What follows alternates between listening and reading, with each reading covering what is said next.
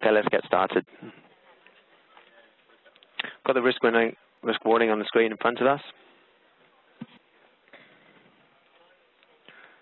And we're all done with that.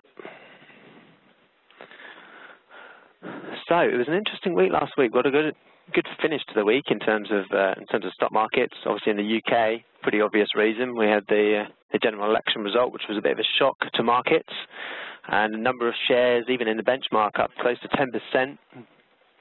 And obviously the FTSE pushing back into uh, its all-time highs, and you can see that reflected in our UK 100 chart. So this is the uh, the rising wedge pattern that we've uh, we've had going for a while now. There's been a few variations on it depending on which lows you connect, but you know using uh, just the connection of these two lows, you can see we've pushed through it, but spiked way way back above it again on Thursday, so created quite a large hammer pattern, and then that got a follow through on Friday when we got the election result. So we're just shy of this uh, 7120 type uh, all-time highs that we we saw earlier in, uh, sorry, later in April. And so that's, you know, that's the major barrier in front of us. But looking at the strength of the action over the prior two days, you'd imagine in the course of this week, uh, you know, I would posit we could see at least a challenge of that that high again because we have this as a um, a kind of steady uptrend. You can see here we're making steadily higher highs and higher lows. So I can think you can confidently call this an uptrend on the weekly chart. And so that's generally a cause for, for bias to the upside. And, you know, just, um, you know, talking about a hammer on the daily chart, I mean, look at the, the tails on these candlesticks here from last week. That is a, that's a huge reversal. So one, one thing to talk about here is actually uh, why was there such a uh, bit of a shock going into Friday? Well, obviously, to, in, on the UK front, um, an element of concern about the election. It's not really been that evident this year. I think one thing you can talk about perhaps is that um, the FTSE has made new records this year, so hardly indicative of major fear in the market about the election. But you could maybe argue that the, the progress has not been as much as it could have been uh, when you look at, for example, the uh, the German DAX or the Germany 30 as we trade it. That's in massive gains this year. The FTSE has been a bit more stumbly. So maybe now the election's out of the way, um, even though we're not direct beneficiaries of uh, ECB QE, FTSE could still tend to could still tend to do a bit of a catch up here, especially given that the Germany 30 has come off a bit.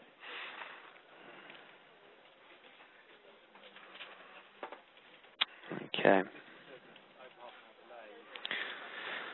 So that's consideration. But uh, so that's the that's the sort of the election. You know, was generally positive for markets. We've got a bit of a question coming up as to whether that positivity can follow through in the longer term. That's a UK specific thing, but you'll see um, that there were some some more global issues. Uh, this is a daily candlestick chart for the uh, German Bund, and you can see that uh, not just last week, but really the sort of beginnings of the week before know, we've got a, a massive uptrend in bond markets, um, basically preempting and following the announcement of ECB QE, in which the ECB obviously buy bonds, and everybody's front-running that in the market.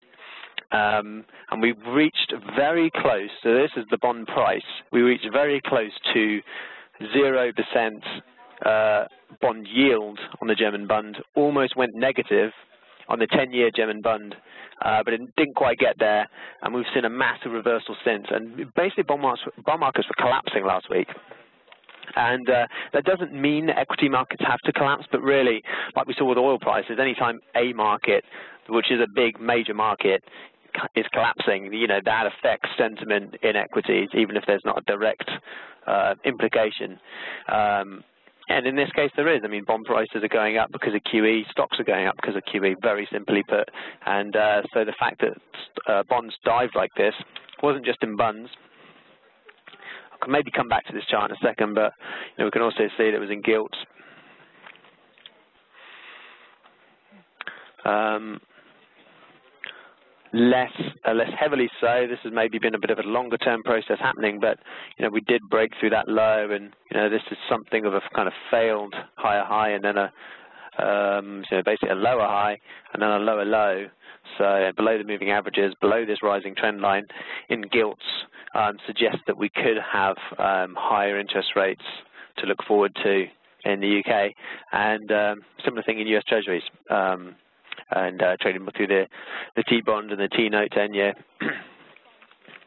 now, this is a, um, you know, again, a huge, huge hammer on this daily, daily candlestick here. But if we look at the weekly chart, it's uh, you know it's closed well back into the middle of the range, but still a, a few really bearish-looking candlesticks there's obvious support here where, you know, I had these lines drawn in, this 38% uh, Fibo, these lines down here, this uh, this peak from the uh, the week of the 12th of October. Um, so various support in this area, so not surprising to see a bounce, but how long it can hold is is open to question because this has been quite a long running uptrend and we've seen a major correction here. Maybe that's the end of it. Maybe we've just flushed out a few weak holders and we can trend up to the, the highs again. That's possible. But I think uh, people are going to be pretty hesitant, and uh, the risk is that we fail to push below, you know, uh, sorry, above this previous support turned potential resistance here, and we maybe could track back down again towards sort of 153, uh, 153 area, as I sort of alluded to in the older chart forum here. Typically, you you know when you see a sharp tail like that, oftentimes the, the next candle will come and test the body of the, uh, the the candle, but not dip into the tail. But I think because this tail is so long, and because of the sort of speed of the move decline and decline before, possible that we could jump back again, uh, go back lower before perhaps moving higher in some sort of bottoming pattern. Obviously, below below this low, and all bets are off, and we're you know that could be serious again.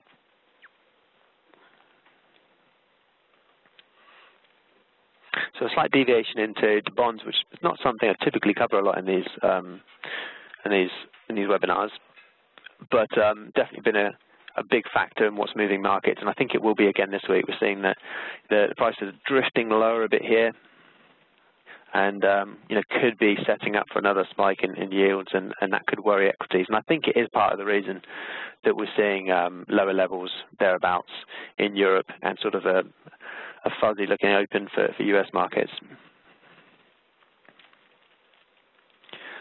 Um, looking ahead, um, data-wise, we had a, quite a big one over the weekend. Obviously, China cut interest rates, and that's why we can see the um, the China A50 is one of the sort of few uh, few risers. Obviously, the uh, the UK 100 is to some extent tracking alongside that, just because the um, the uh, the mining companies in the UK tend to follow the activity in China, and that's helping the FTSE outperform. But otherwise, other global markets not reacting too strongly to the um, the rate cut, um, and I think again it's because of some of this softness in. Um, uh, well, firstly in uh, in bond markets, and then oil prices perhaps have uh, put in a little intermediate term top. We could maybe jump into that. Let's um, well, since I've covered the UK, let's just have a look at Germany since um, we did mention that before. So um, trend line's proving you know, quite instrumental at the moment across a few different markets. This is a trend line connecting four different lows in the Germany 30, so definitely something that's widely watched.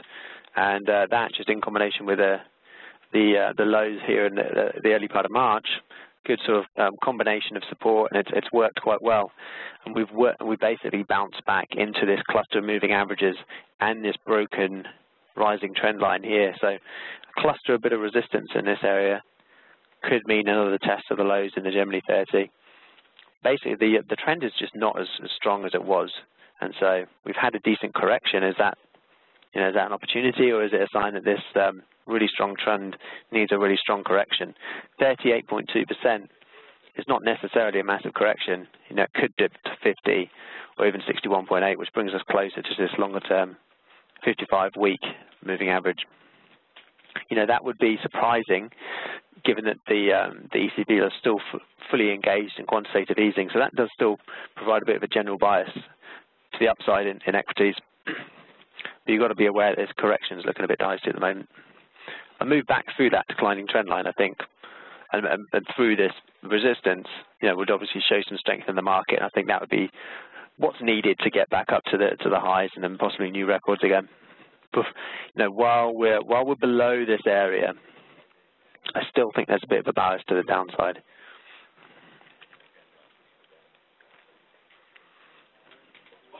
We look at uh, U.S. markets. Been very sideways, but um, it was a bit of a turnaround late last week, and that's, um, you know, we mentioned the, um, the kind of UK UK um, aspect of it with the uh, the elections last week. We had the non-farm payrolls, and the number was largely a non-event. Basically, it was almost exactly in line with expectations, just one um, 1,000 below expectations, uh, which is the closest I've seen to consensus for a while. So not a particularly interesting result, but there was a drop in um, average earnings growth. Uh, some of the fundamentals are a bit weak within the report, but still the headline growth was over 200,000 jobs created. So it was quite a good Goldilocks report that um, still showing some the the U.S. economy is improving, um, growing, it's um, producing jobs at a pace that the market's comfortable with, but not such a strong pace that it means an imminent hike in interest rates. I think it probably all but ruled out June as a possibility for, for hiking interest rates. September possibly still on the cards, but I would suggest it's probably going to be later. Markets, um, if you look at um, uh, Fed funds futures, are basically pricing in a, uh, a rate hike in December. So that probably seems like the most, more likely scenario at this point. Um, technically, though, we're at the top of this range. You know, if we, uh, you know, tempting looking at this price action to believe that we're about to see a breakout. And we have seen a breakout of this cluster of highs, which to me is a, is a positive sign, but still, uh, we have not quite seen that breakout yet. And so if you are long the market here, you know, you're going in before the market, uh, before the breakout really, and so you're getting a better price if prices do eventually break up to the top side, but you're risking the fact that the market just rolls around um, back into this range trading that we've seen. So it's found a minor bit of resistance up at this um, March 24 peak. My feeling is that perhaps we could get back up to the um, the all-time records, perhaps push a little new record, and then reverse back into the range again. Kind of the way it, lo it looks like it could happen. And then maybe from there we can push on to, to higher highs and higher lows again still a general upward bias in in U.S. stocks, I think, but it's um, it's been pretty choppy during earnings season. But we're getting to the end of the earnings season. You know, this week and next week's a lot of retail stocks. That'll be important for the general, uh, you know, general sense of how the U.S. economy is doing. But I think probably earnings season's not been quite as bad as some had hoped, and uh, my my my sense given the direction of the trend and given some of the key earnings releases, that probably we can move higher past it. But we do need to break these highs first, obviously, to, to confirm that's actually taken place.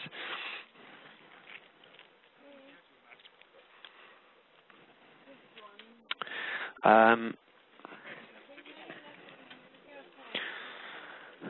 now, um, let's go, let's go over to currencies because there is a, there are a few important um, economic events happening this week, which tend to affect currencies a bit more than um, the stock markets that you know have uh, have the other kind of factors uh, factors that we've been discussing already. Um, it's quite a big week for the the British pound. We've got industrial production on Tuesday, and we obviously already just had the the um, Bank of England today, um, unsurprisingly kept um, rates at current levels, didn't interfere with the, the amount of assets purchased under QE. Um, so no big surprise there. That really hasn't affected the pound too much. But what will is the um, Bank of England inflation report on Wednesday, because then we'll hear a bit more about the thinking of the Bank of England, particularly post the election, because there was a lot of speculation, particularly at the end of last year, about whether the rate hike would take place maybe a bit before the election, a bit after.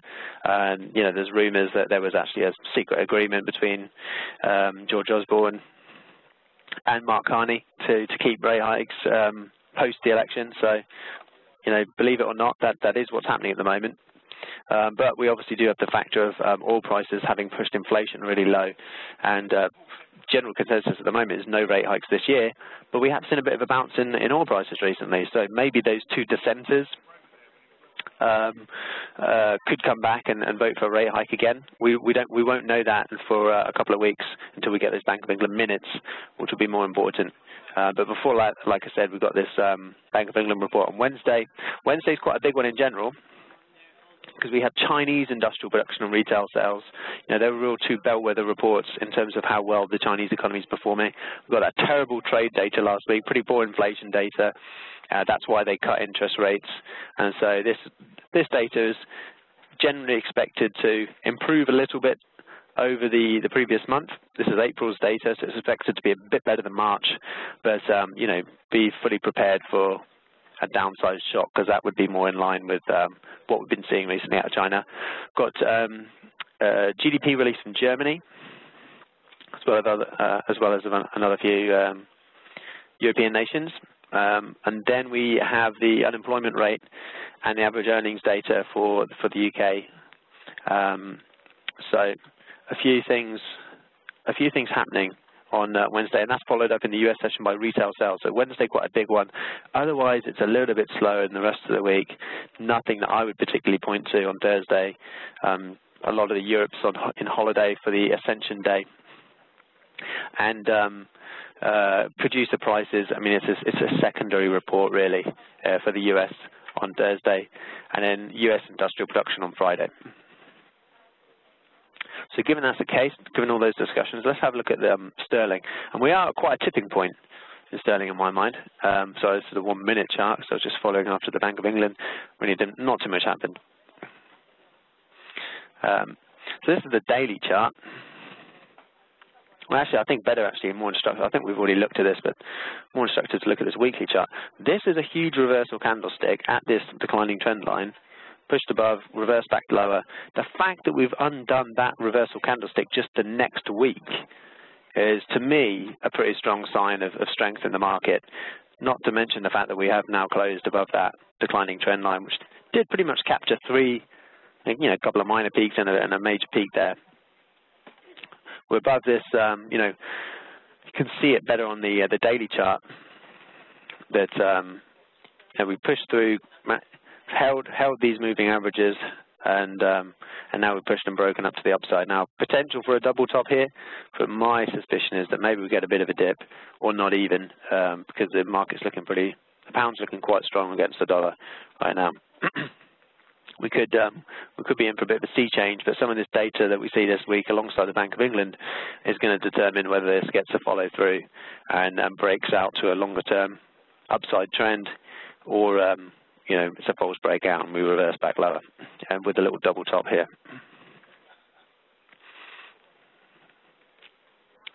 Um, also interesting to watch the, the euro pound because that sort of was starting to imply some uh, some relative strength for the euro, but that all kind of got undone um, on Friday when we had that um, that huge move higher in the pound after the election, and so what was starting to look like potentially a reversal, perhaps a little double bottom, it now is starting to more, look more like just another consolidation before a move lower.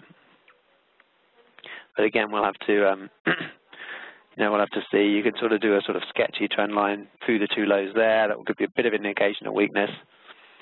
Um, but the fact that we just, that was basically a false break and a sort of dark cloud cover type pattern here, um, not quite engulfing that whole week because that was obviously a strong week, but pushing through these lows will probably drop in further in euro pound. So that that that big boost to the euro not really taking place against the pound. Still potentially will against the euro, uh, against the dollar. Sorry. Um, yeah, a bit of a complicated looking chart on first glance, but but, but not really. Um, you know, we've broken this declining trend line we broke above this, this high here, which is something of a neckline for a double bottom pattern. But after having closed above it, we ran into this 21-week um, moving average and a very indecisive doji type candlestick last week doesn't really imply the market's about to fly to the upside, and we are just banging into this, you know, this supply zone here where the prices broke down uh, back in February. So to my mind, we're, we're, you know we're most likely moving back down to retest this low again, just beneath um, uh, 10, uh, 110, sorry 111. You know this kind of critical area that we were able to, to break through. Um, down to there, we could get a move back higher again, but this um, sort of double top type pattern in the RSI means that we could maybe dip down to this sort of demand area, which is not altogether conclusive, but built off of just where we broke um, through this uh, through this weekly candlestick here. So that that fall was about 106, I believe. 109, sorry, 106. Yeah, that would be a bit more drastic.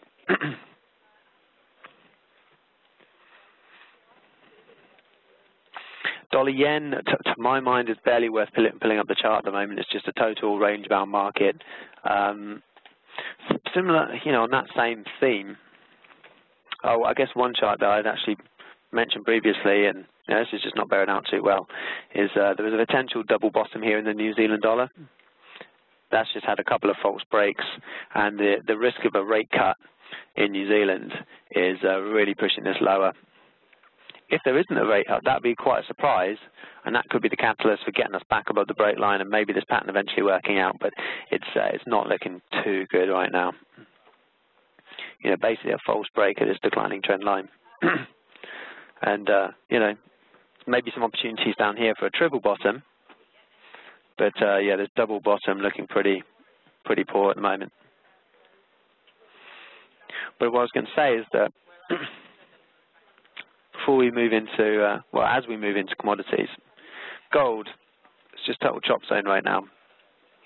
You know, for those who trade just gold, um, you know, on the shorter term, there's a lot of movement happening, so you know there are opportunities. For those who have a slightly longer time frame, typically the sort of four-hour up daily time frame that I cover a lot on this on these webinars, um, you know, a, a time frame perhaps more suited to someone who's not trading all day. Um, then there's, there's really it's a very difficult market to trade at the moment. Gold. Um, there was potentially a um, a uh, inverse head and shoulders here. You know, it wasn't able to get through the neckline, and then um, this is this trend line here has kind of been acting as a support um, right around that sort of 1180, which is our long-term level of support, um, which is basically through these lows back here, and it kind of corresponds with um, where we kind of broke from the lows a couple of times through that area. So that's at 1180 to some extent is still containing gold, but it's below these moving averages for the most part, and it's still kind of within this declining trend line, um, within this sort of triangle type pattern. Um, but really, until we get out of this, um, conclusively out of this trading zone between 1180 and, and 1220, it's just as, you know, you can with the benefit of hindsight, if you're selling at 1120, buying at 1180, you know, there's been a few opportunities with a bit of a drawdown here, but uh, not much trending action here. And same with dollar yen. I just, you know, unless you're forced to trade it, what you know, why would you trade it? Let's just let's just find some currencies with some distinctive directional movement. Silver, maybe a slightly clearer picture we had this um, similar sort of triangle type pattern you can see on the weekly chart with a base at these kind of lows. Clear from the fact that it's, it's difficult to trade at the moment, but it's, it's, it's, contained within this triangle pattern. So again, a sort of range trading technique of buying oversold, um, selling overbought, um, according, according to the pattern, is working to some extent. But uh, you know, once we get more of a conclusive breakdown from either this support, which is about 1550, or this declining trend line, uh, you know, that will be the key trigger to, to some bigger movements in these markets, in these metals markets. But at the moment, I think just the uncertainty of the US dollar and um, when exactly the Fed are going to hike rates um, is causing the dollar to correct. But these metal markets, people are still hesitant to really buy into them because they still think a rate hike's coming sometime. Um, it's just causing them to go sideways. Um, a more interesting market for now, well, I'll quickly mention copper. It's not the most heavily traded, I know, but it's still one of the most traded um, instruments and um, had quite a major breakthrough which I probably mentioned last week, and we're still waiting for some follow-through on that. We're basically stalled at this 55-week um, SMA. And so possibility of a correction down to this quite strong former resistance, possibly turning future support, and then maybe a move higher.